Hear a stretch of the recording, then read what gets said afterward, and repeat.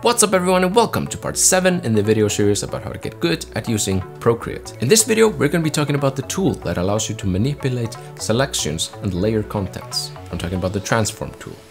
Let's check it out.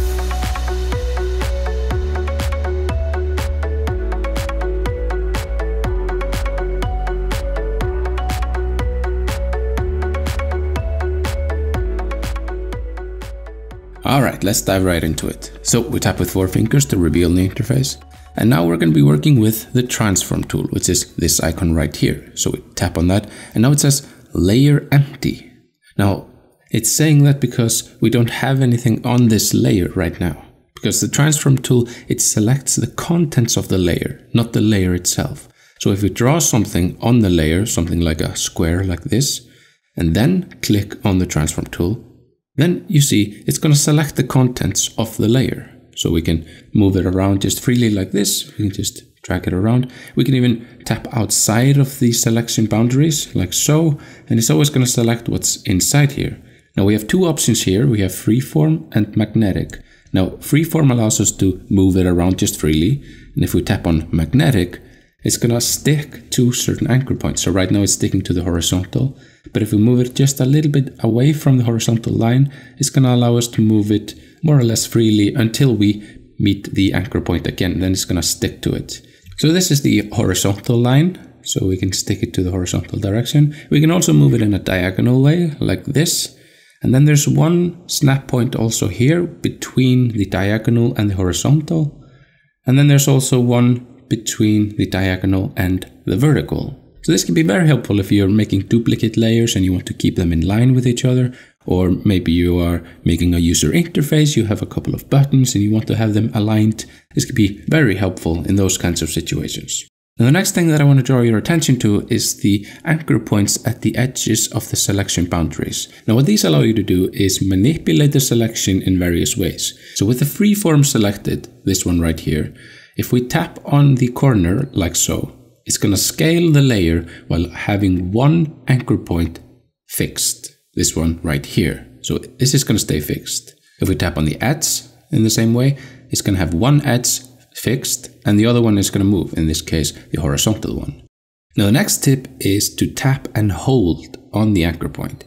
And what that's going to allow you to do is to move each anchor point individually. And that creates this cool looking perspective effect, which makes it looks like it it's going into the distance or being stretched in various ways. And you can use this in pretty much any scenario. Um, if you need to make something look just a bit different, take this edge, tap and hold, and then move it freely. And the other edges will stay in place, but you can kind of do whatever you want with it. Pretty cool.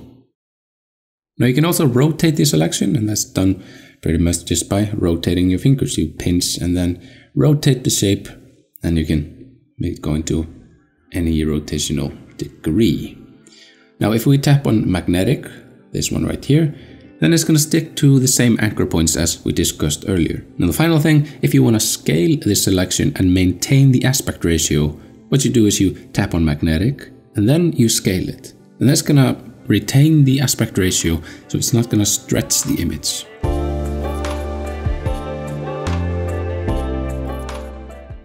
So now we've gone through the freeform and the magnetic and what you can do with these controls over here, the anchor points. And the next thing I want to talk about is these controls over here. So let's go quickly through them right now. So the first one is flip horizontal. So that's basically where you take the image and you're flipping it on the horizontal axis. So we tap on that and it flips it horizontally. Pretty straightforward. The other one is flip vertical. So that's going to flip it upside down. The next one is rotate 45 degrees.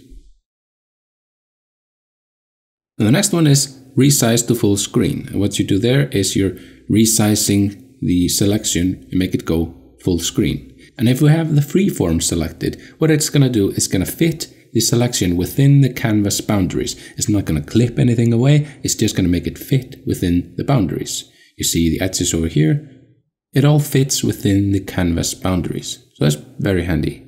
Now if we tap on magnetic and do the same thing, what it's going to do is going to fill the entire canvas with as much of the layer selection as possible. So as you can see, we've lost some information on the top and the bottom there because Procreate is trying to do its best to fill in the entire canvas with the selection that you had selected. And now, if you're unhappy with what you just did, you can always go back and clear any changes that you made by using this one right here.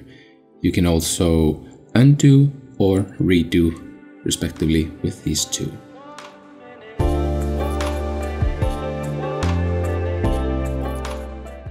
Alright, so for the final tip here, um, let's say that you're working with this square right here and let's move it into place like so and zoom into it like so.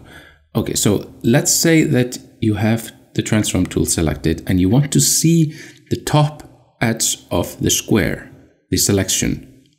Now, how can you do that? We're in the transform tool, so if we want to zoom out, what's going to happen is we're just going to scale it because we have the transform tool selected. So how can we zoom out while having the transform tool selected? Well, we could deselect it, then select it again, but that's a hassle. We don't want to do that. We want to be in the tool that we're working with. So in Procreate, what you do is you tap and hold on the transform tool icon, and that allows us to zoom in and out. We tap and hold, and then we do the zooming, release, and then we can do the modification, tap and hold, zoom out, release, do some modifications, and there we go. That's how we do that. It's pretty awesome. And that's gonna do it for this video. I wanna thank you very much for watching. Don't forget to like this video if you liked it, if it helped you out. It really helps me out. If you wanna check out the next video where I'm gonna be talking about the selection tool, click on this one. Click on here to see another video from mine. Click here to subscribe. I wanna thank you all very much for watching. See you in the next one. Bye bye.